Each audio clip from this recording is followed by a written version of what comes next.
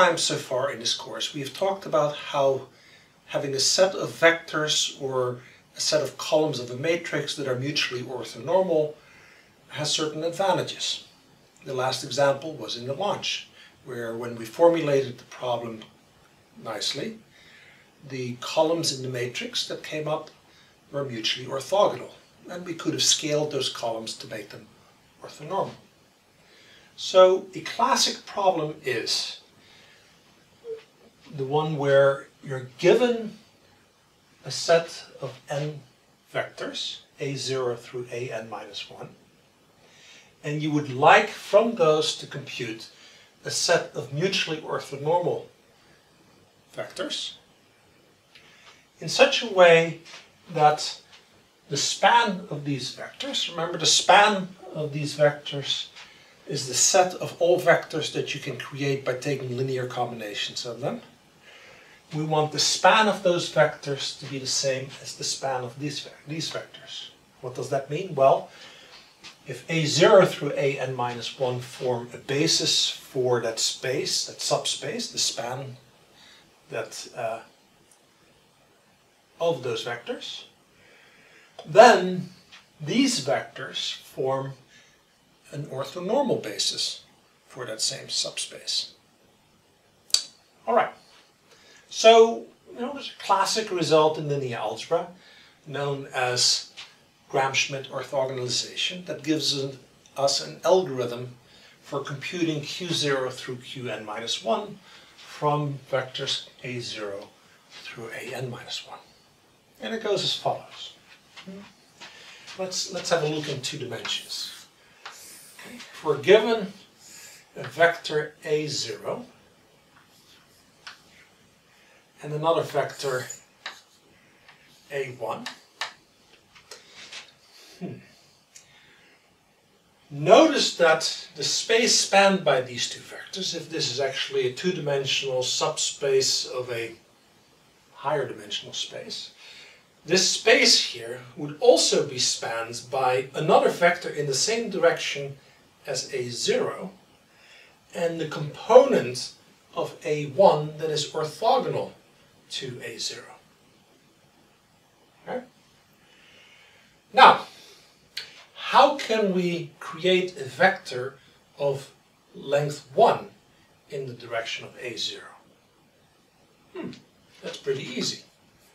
We can make that the vector q0, and q0 is just a0 divided by its length. And you end up with a vector of length 1. So, our process could be, in the first step, you set q0 equal to a0 divided by its 2 norm. But we like to actually do this slightly differently. We like to do this in two steps. We like to say, okay, first compute the length of A0, and then set Q0 equal to a0 divided by its length. This is rho 0, 0, and the reason why we pick the Greek letter rho will become obvious in a little bit. Okay, so at that point, we have this vector here. Now, we can compute the component of A1 in the direction of Q0. That component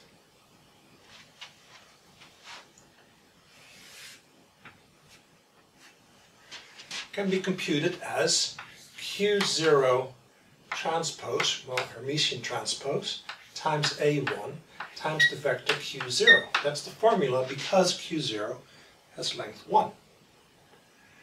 And then the component orthogonal to that can be computed as, um, let's see, A1 minus Q0 Hermitian transpose A1 Q0. Now, we're going to again compute this in two steps. We're first going to compute this as the value rho 0, 1. And then we're going to, to take the vector q0 multiplied by that and subtract it off of A1.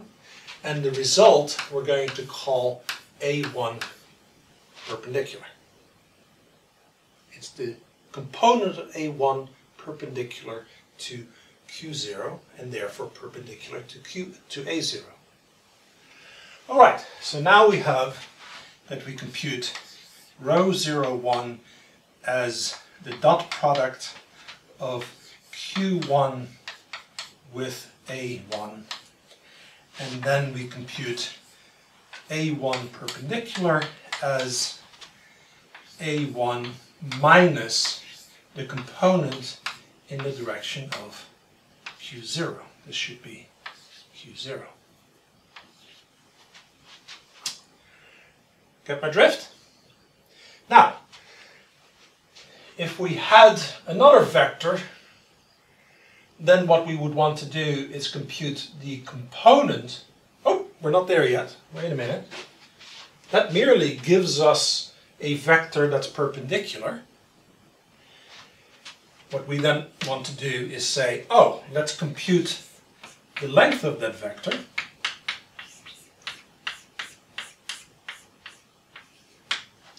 And then let's create the vector q1 to be in that same direction, but of length 1.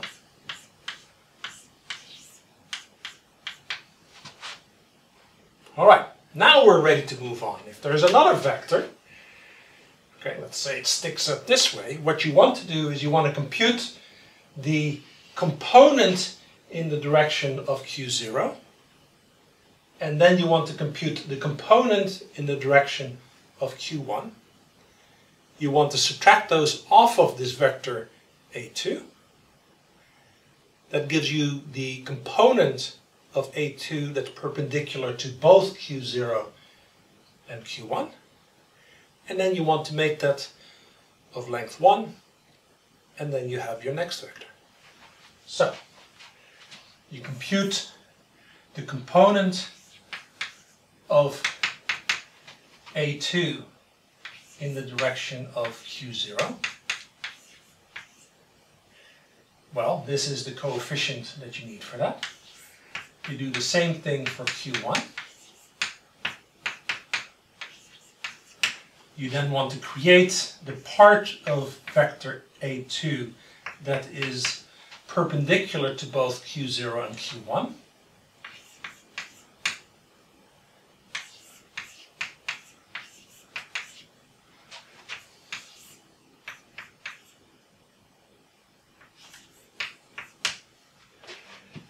Then you want to compute the length of that vector.